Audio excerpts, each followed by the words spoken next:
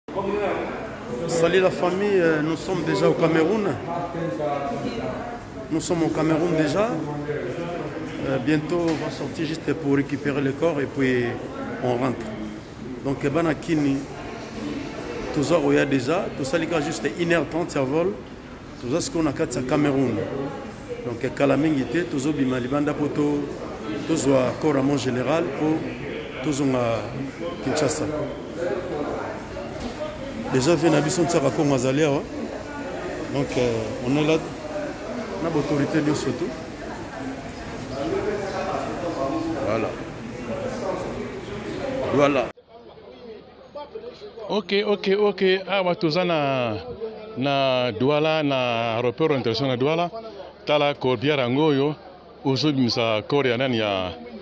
ya defao oyo corbière awa ah, toza na entrée ya frete ozomona toza na entrée ya frete mpo na corps ezokende ya kisasa Bon, omoni yango? Eh. Hmm? Omoni yango? Donc eh, yango oyo ozomona. Oyo nde corbial yango ezokende kisasa eh, nani corps eza na kati awa. Bon, sikoyo nde nazolakisa bino eh, esika eh, corps ekende mais corps bayibi koyiba ata congolais moko azali te bayibi koyiba tolandi yango na aéroport na fret donc ekamwisi biso nyonso tu meme eh, bato bakamwe ese ezalaka boye vraiment c'est très très difficile très compliqué yango oyo ok omoni yango eh, bon sikoyo omoni yango donc toza kopesa bino nyonso tu ok mona yango ok ngai moko papa diki ngai oyo toza na na chirac omona yango eh, toza na chirac awa na kati ya na fret fret aéroport mona yango ok yango eh? Chirac ye yo ah non Chirac il faut défendre non non alors donc on a ni Pepito ye wana Pepito azalaki nani musicien oyo ayebana papa defa oye yo oyo proche na ye mpenza wanderlin ye wana bana confiance didier aza kuna azoyaka didier lacoste tala nani mama monique ye wana ozomona Ok, sikoyo tozela nini ekode ekota na kati ya, ya fret. Ok, merci. Tozela tova. Ok, ok, ok.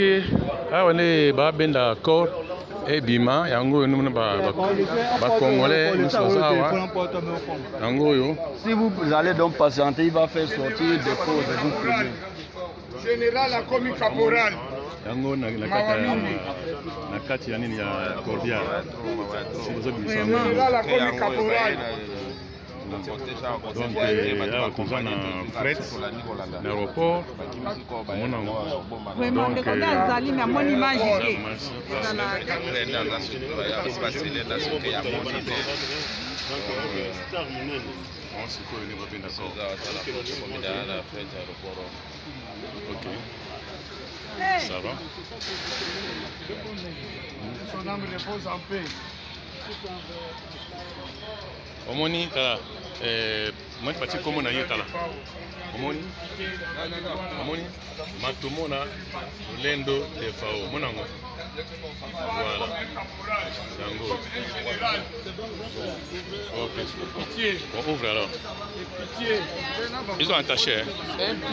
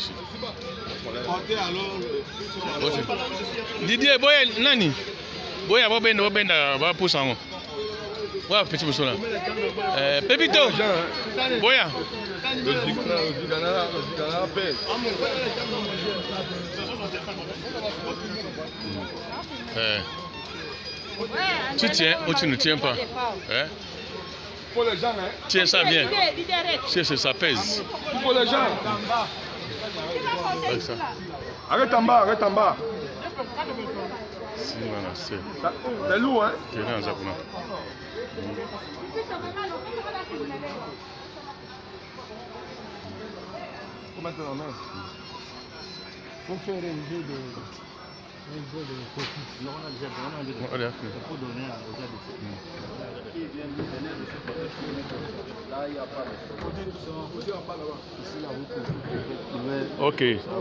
awa nde badepose awa na se bapesaka na balance oyo ekɔtaka na fret yango oyo ozomona donc euh, il est presque bolonga nani pepito bolonga balance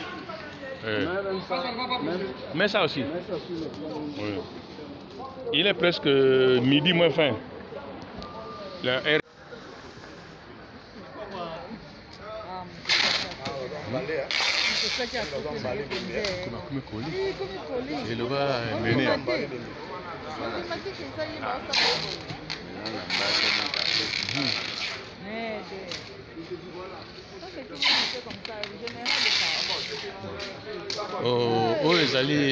nzoto ya journal de fao eza na fret bazoti na koli eza kende kinshasa jet se eye deja yango bati na kinshasa ezokende voilà c'est ça ezoti na kinshasa yango ezokende ekomi mutu mpenza akomi koli ozomona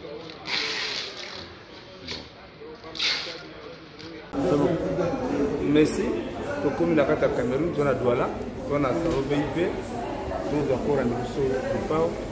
vraiment que bozela na biso tozonga le temps bakende na mboka en tout cas ça fait mal euh, bandeko na biso tobungisi monene ntango ozalaki esika koseka moke mete Comme la Douala, on sent que j'ai la tristesse. Vraiment, Madame Messi,